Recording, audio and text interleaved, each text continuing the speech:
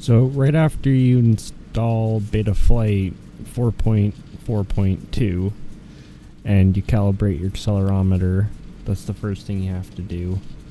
Then you can go to your ports. If you have default configuration, then GPS is on UART1. You just set it here, set baud rate. You don't need to touch anything else. UART2, in my case, is the uh, transmitter in ELRS, and all you have to do is just press serial RX on whatever UART is plugged into. Um, if you have troubles finding which UART it is, it'll say TX or RX. In this case, it's a uh, receiver, so it would say RX and then a number, so we just turn that on.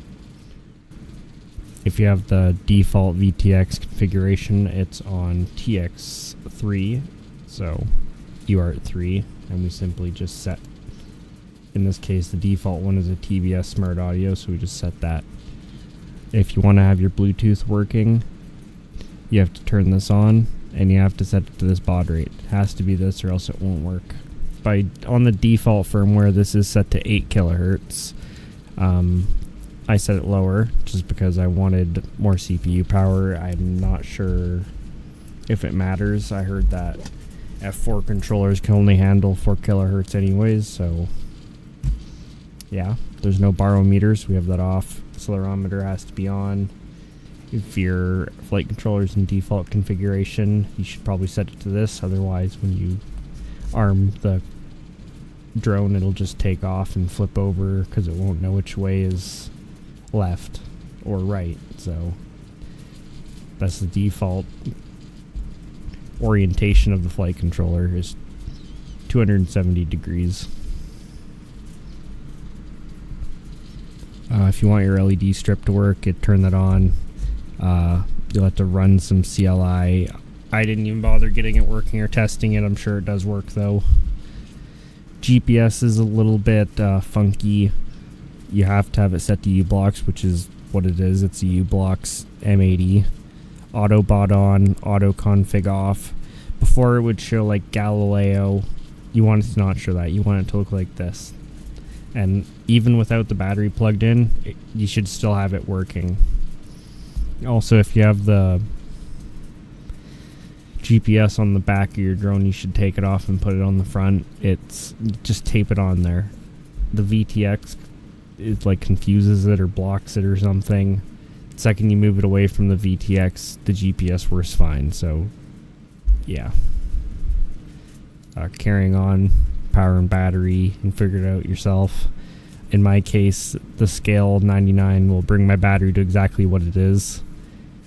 Uh, 14.8 volts and it'll show up as 14.8 volts. Obviously, you have to have the battery plugged in to do this. And in my case, I'm using Li-ions 18650s, four of them in a little pack. So I can drop to 2.5. Yours will probably be like 3.2 at the lowest or 3.5. I'm not sure and then it'll be like 4.1 or 4.3 full.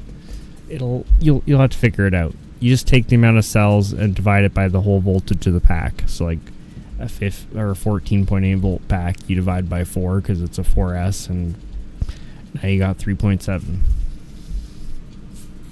Anyways, you have to figure that out yourself on what packs you bought. If you bought the same packs I did, a 14.8 volt Li-ion 3000 milliamp hour, then go ahead, steal these settings. It works good. There's no current meter. You have to set it to virtual. Um, fail safe, you can set this up better. I haven't figured out what my hover throttle is or any of that, so I haven't configured GPS rescue, but you could set it up pretty easily.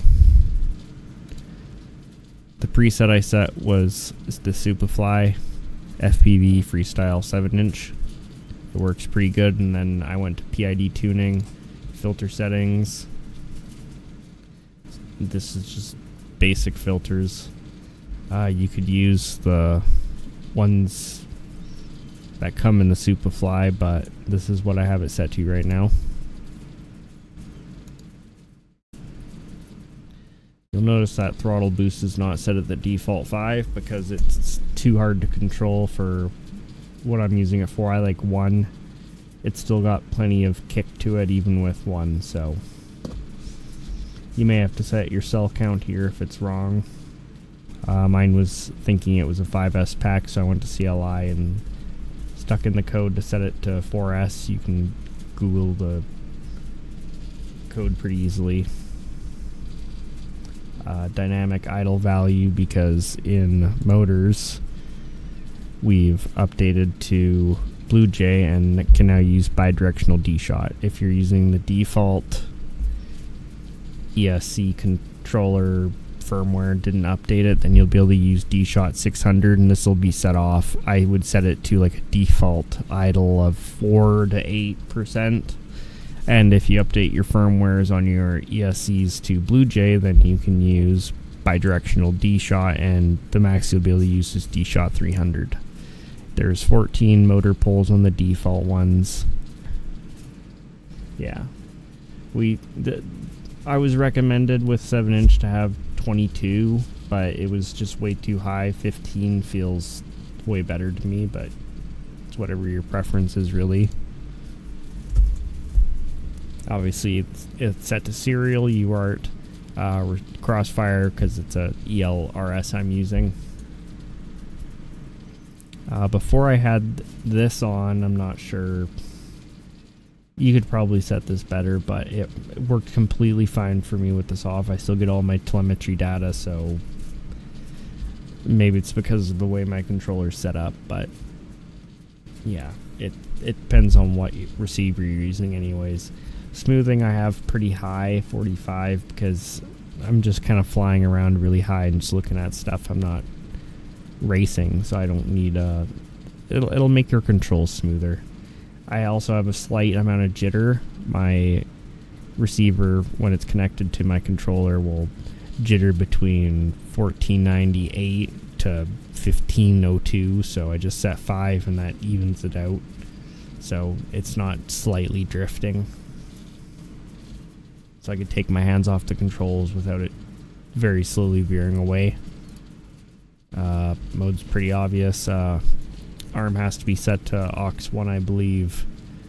Um, set to the high point. You have to set in mixes on your controller. You set each mix is a channel, so like mix 1 will be aux 1, channel 1, and you set it to one of your switches.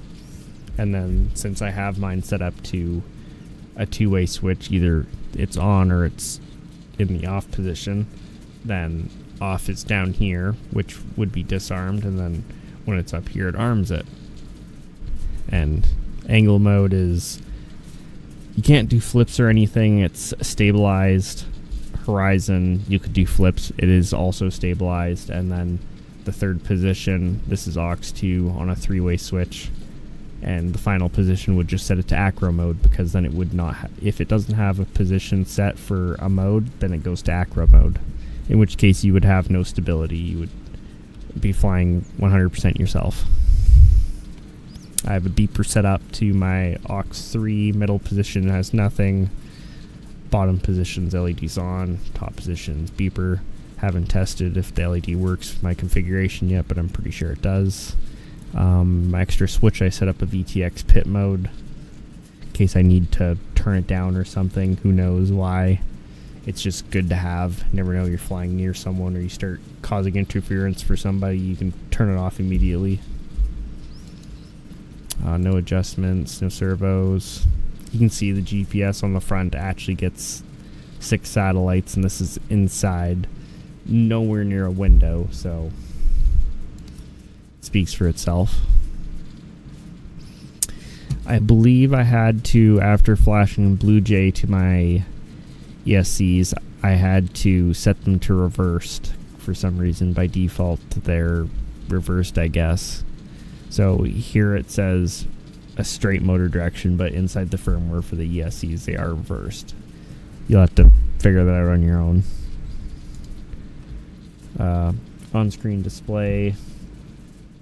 I believe on auto, when it was set to auto, GPS information wouldn't show up on the screen. It took me hours to figure out. I think I had to set it to PAL. E either one of these will work. I get better quality with the default camera on PAL. Uh, anything else important here? Not really. This is all up to you. VTX channel. It's nice to be able to see and make sure that your VTX is on the right power level. Uh, one thing we'll talk about in a second is on the default VTX table, you have to have your battery plugged in before you come here, or else none of this will save. The same is true with the OSD. None of this will save if you don't have the battery in before you get here. So make sure you plug your battery in before you plug it into your computer or before you open up Bluetooth, I guess, to connect. If you're powering it by a, a USB for whatever reason. You have to put a frequency in here. So I put 5800 megahertz, which is uh, band F and channel 4 for my pit mode frequency. It's nice to have this on. I have it off just for troubleshooting because if you have this on and it's in pit mode when it's unarmed, so you might turn on your drone and think, oh, it's not on the right power level. It's showing 200 or 25, even though you have it set to 800. So that's something to keep in mind. So I have it off so I know when I turn it on and it's disarmed, that's on 800. Because sometimes it'll stick to like 200 and you have to come back here and set it. It's uh, kind of weird about that. But yeah, you have to put 5800 in here if you don't and you just save like this with a zero, this won't work. It'll say 800, but it will not be giving you 800. So you have to make sure you set a pit mode frequency. Now let's go check out BlueJay quickly.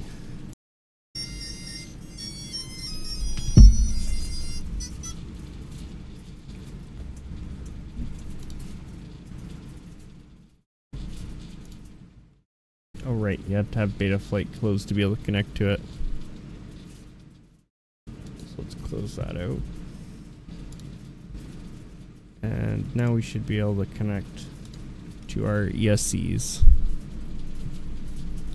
First thing you're going to have to do is read your settings.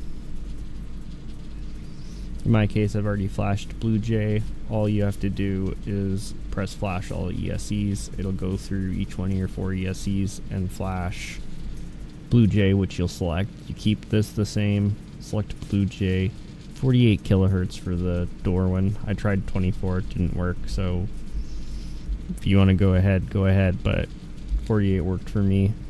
I had to set my ESCs to reversed for them to work the right direction, don't know why. And these are what I set for my parameters. Now, the reason for flashing blue jays because you get this. This whole list of well, really, you could make your own and upload them. These are RTTSs, I think. It's a format that they used to use for old ringtones on old cell phones. So, for instance, we could take the Zelda theme song.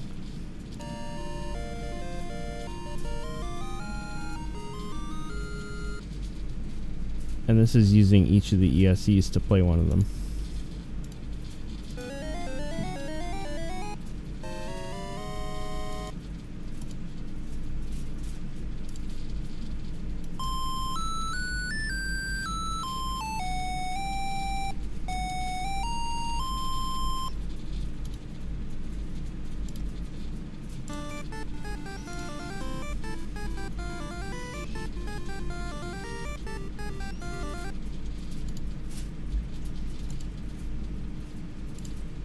Never heard the Blue Jay default. That's pretty cool.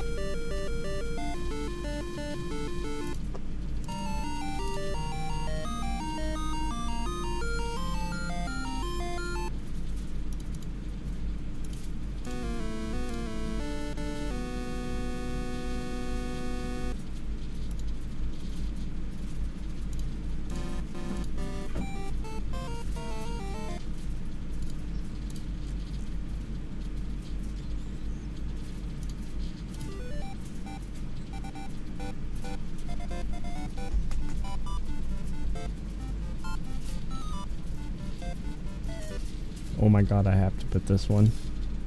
So you just press accept on, e on each of the ones you want on the ESCs, because, I mean, technically you could put different ones onto different ESCs. I don't know why you'd want to. Maybe if you made your own custom theme, I don't know. But anyways, then you press right.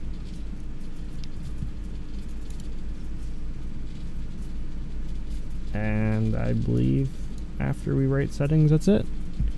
And now the next time you unplug your drone and plug it in, you'll be playing the Pokemon theme song.